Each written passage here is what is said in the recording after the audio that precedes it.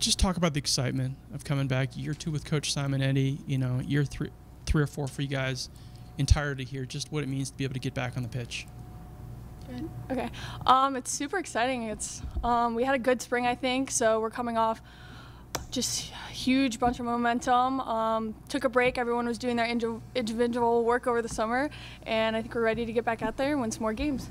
Like she said, we built a good foundation in the spring, and we have a lot of new talent coming in. Uh, so we can only go up from here. It's going to be really exciting. You just talked about the new talent to come in. What have you guys kind of seen so far, whether it's been in the brief practices this week or in the training for captain's practices over the summer? What has it meant to you guys' teams, and what's it going to mean on the field? Well, like our head coach has been saying, we're already eons uh, from where we were last year. Uh, with the new talent, you know, we're connecting, uh, especially in the front. That's that's a big change, and we're we're going to score some goals this year. So. Um, we added some very good players in the back too. I think our defense is going to be a lot stronger. Um, and the freshmen are just athletic. They're super skillful, and a lot of them honestly killed it on the beep test. Fitness is great, so it's very exciting. I follow you on social media, and it seems like the team bonding and hiking was fun. How do you feel like these activities prepared you guys for this season? Um, just getting us closer together, I guess. It was a little nerve wracking, I will admit, coming into like 30 girls instead of like our normal 18. But I think putting us in the house for like three days made everyone closer. We were sharing three bathrooms, so we had to learn how to share. so. It's always an experience, and um, it kind of helps get all the nervous jitters out just before we come in and actually start playing. Uh, you build that, you know, that personal connection before you build that teammate connection, which I think is really important. Okay, your your season is going to be starting prior to the first day of classes. How do you prepare mentally, um, knowing that you're going to play a lot of games before you even go into the classroom? How do you get your mind right to um, start your studies and obviously your program has done very well academically over the years. Yeah, so I think it actually gives us an advantage because we're able to focus on the soccer aspect and, you know, building our team identity before we get into classes and whatnot.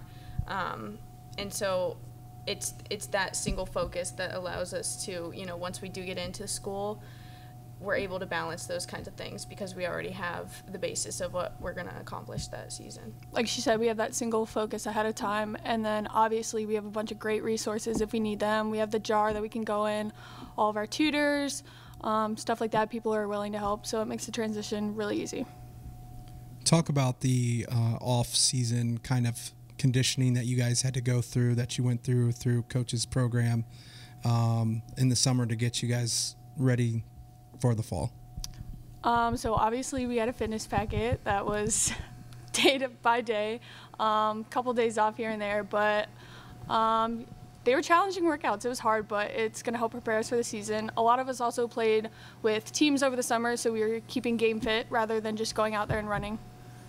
Yeah, something that Coach Simon Eddy likes to emphasize is that you know she's always going to make things harder than the actual the actual situation that we're going to be in. So uh, she's going to make the workouts harder than what it should be just to push ourselves. And so that when we actually get to the fitness test or we get into games, like, it's like, hey, this isn't as bad as, you know, what we were doing in practice the other day. So. What are your uh, goals for the season? What what what are you guys looking forward to this season? And uh, part two to this question: What does Akron soccer mean to you guys? Um, obviously, the biggest goal is to win a MAC championship, but that starts with winning some games and qualifying for tournament. Um, I think the biggest goal right now is just qualifying for tournament. And Akron soccer means to me community, family. I think um, we have a great program that brings people. They want to watch us. Everyone's like a small family, like I said, and so I think it's just a great atmosphere. Yeah, so we have a couple big games right at the jump, the beginning of our MAC season, and we're really excited to, you know, show our new team, show what we can do this year, because um, we can definitely do some damage, and uh, we're looking forward to that, especially with the community piece. You know, we obviously we want to build that, uh, build that con community connection. Um, and that's really important to me personally because the more the community is integrated into our program, you know, the more support, you know, the better the games, you know, the better atmosphere, which is good for building a MAC championship team. You both are wearing the captain armband. Can you talk about how you guys deserved, earned those those bands on your arms? Um, well, I'll speak about Katie first. Katie is an amazing leader for our program. She's the voice of our team. Um, if you come to any game, you'll hear her. She's the first person you're always going to hear. Um, she is the tougher one on everyone, and I think that's something that this team needs. She will be there just to put a, set the standard. I think we both do set the standard, but that's her job most of the time.